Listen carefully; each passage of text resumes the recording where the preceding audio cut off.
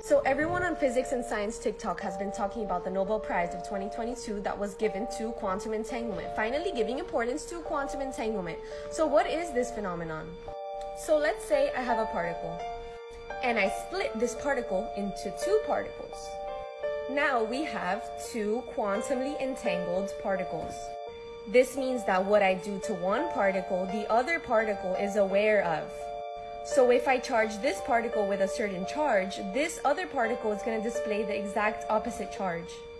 And this occurs no matter the distance. They can be seven miles away or seven light years away. It does not matter. The information travels from one particle to the other instantaneously. So recap, entangled particles are always interconnected and aware of each other's experiences.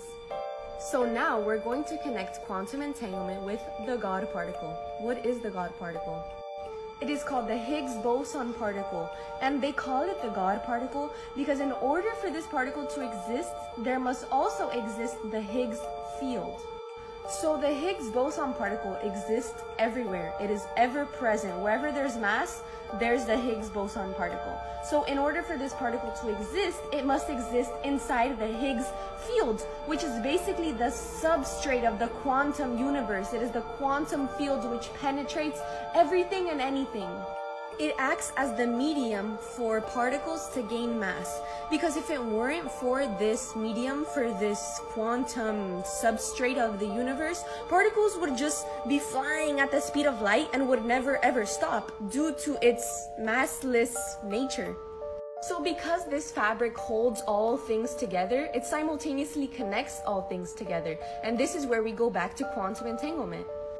Einstein and physicists still call quantum entanglement spooky action at a distance and they call it weird and strange, but it's because they don't truly understand what it means for the nature of reality. We have to realize that if you think of the universe as something separate and that things are inherently separate from each other, then seeing two things instantaneously connect and communicate with each other at light, light year distances are going to seem weird. So this is when we have to redefine what is the nature of reality.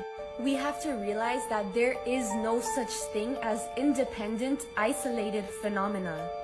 Everything is interdependent and interconnected because it is literally all the same thing.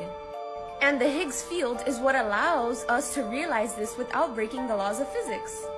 If energy cannot be created nor destroyed, only transformed, and everything is interconnected, then what we truly are as energetic beings cannot be separated from this all, nevertheless destroyed.